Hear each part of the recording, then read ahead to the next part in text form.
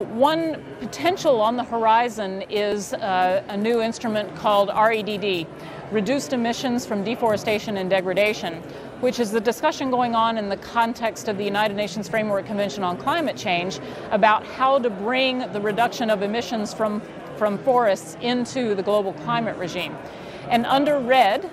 uh, the idea is that finance from developed countries would be mobilized to help uh, compensate the costs of developing countries of conserving more forests than they otherwise would do. We're hopeful that these new revenue streams will provide incentives to change the economic calculation of keeping the trees in the ground rather than converting uh, the forest to another use.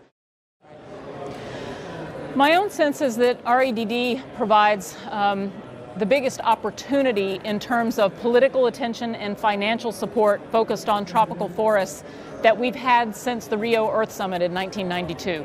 But over that, that period since, there's been a gradual erosion of attention to tropical forests. But again, within the last two years, that attention has exploded and REDD is what people have latched onto as a potential silver bullet to both address uh, the climate mitigation agenda, but also potentially um, some triple wins in terms of both biodiversity conservation and improvements in rural welfare. Um, certainly, that potential is there. But there are also lots of reasons to be concerned about, in the first place, how difficult this is going to be, because we've been working on trying to reduce forest uh, destruction and degradation for several decades and haven't had a very good success record, so there are reasons for that. But also because there's the potential for unintended negative consequences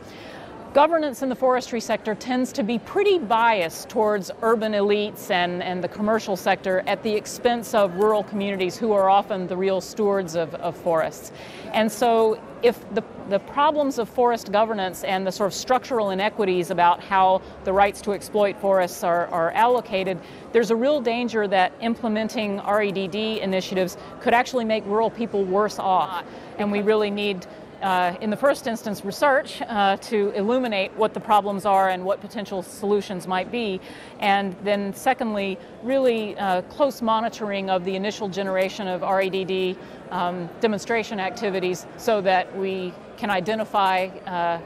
the need for course corrections if things start going wrong.